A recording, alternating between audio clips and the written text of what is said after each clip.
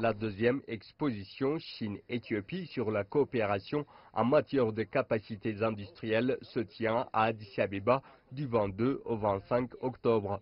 L'expo vise à promouvoir le commerce et les investissements entre les deux pays.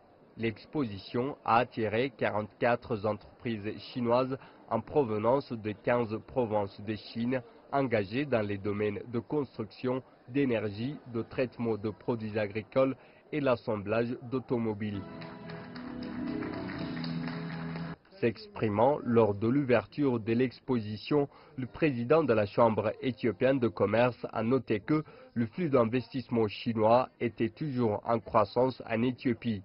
Il a aussi indiqué que l'ouverture de l'exposition devrait renforcer davantage les échanges commerciaux et d'investissement entre la Chine et l'Éthiopie.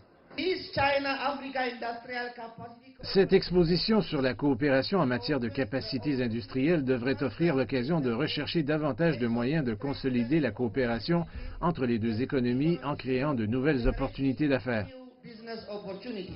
Le président de la Chambre éthiopienne de commerce a d'ailleurs indiqué que l'exposition présentait d'énormes opportunités pour les exportateurs éthiopiens cherchant à ajouter de la valeur à leurs produits d'exportation. L'une des participants à l'exposition est Rihanna Abdul Malik, une femme d'affaires éthiopienne. Elle dirige une agence qui importe des machines agroalimentaires de transformation. Nous importons principalement des machines de transformation agricole, comme la farine de maïs, ainsi que des machines de traitement de céréales. Nos clients sont principalement des exportateurs de céréales et d'autres produits agricoles et qui veulent traiter leurs produits avant de les exporter et ainsi ajouter la valeur de leurs produits. L'expo nous a aidés à créer des liens avec des entreprises chinoises qui étaient présentes à l'expo. Des exposants chinois ont déclaré à ce jeune que l'exposition était une occasion importante pour leurs entreprises de forger des liens avec des Éthiopiens.